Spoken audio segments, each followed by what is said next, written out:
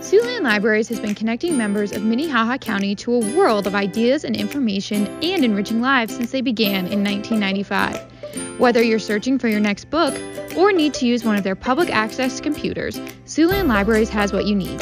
With multiple locations throughout Minnehaha County, you will always have a Siouxland Library close to you.